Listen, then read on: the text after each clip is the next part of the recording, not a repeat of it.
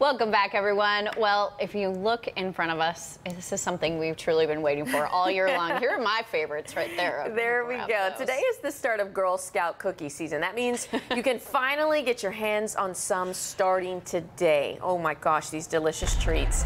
Joining us this morning is Heather Ganeshow, the Marketing and Communications Director over at Girl Scouts of San Jacinto. Good morning, Heather. Such an exciting day. How are you? Hi, good morning. Very excited. We wait for this day day all year. So we're right there with you. Super excited for the first day of the 2024 cookie season. It is an incredible day. Absolutely. I know everybody has their favorites. These are mine, Thin Mints and Caramel Delight. You guys have been doing this for a long time, decades even. Tell us what's new this year. So this year, uh, the sale starts today, so you can buy from uh, local troops and girls in your area. Uh, no new cookies this year, but we're reintroducing all of our classic favorites. So I'm with you, Thin Mints are my favorite, so you know we've got to have those. Um, and then we also introduced a new flavor a couple years ago called Adventurefuls that were a little hard to get, but we've got plenty to get your hands on this year. Um, and then we have booths that are going to be starting up on February 16th for people to visit at different retail establishments. These are the Adventure Fools now, uh, uh, right in front of me, actually. Ooh, you were talking good. about it, so I said, wait, they're just right here. Anyways, uh, so talk a little bit about how people can get some Girl Scout cookies and are they able to order online?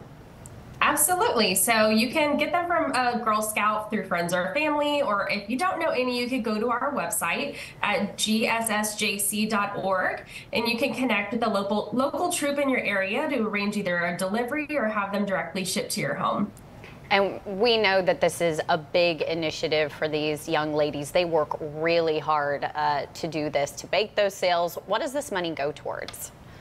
So all of the proceeds from the Girl Scout cookie program stay local within our council. So funds uh, provide camp experiences, horseback riding, different opportunities for the girls to do throughout the year.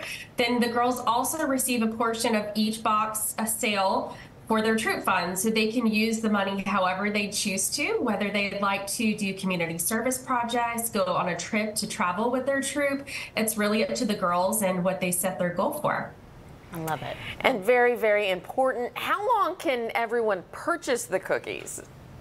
The sale ends on March 24th, so make sure to mark your calendars. And I will say they're really good to stock up and put in your freezer too, especially those thin mints. Yes, uh, So get them before you can uh, before the sale ends on March 24th. Absolutely. That's a perfect trick, and I, I, like to do that one too. So awesome. Well, we're excited. Lots to look forward to. Heather Ganeshaw, thank you so much for chatting with us this morning. And we'll have thank all you. this information available on our website as well after the show. Stay with us. We'll be right back.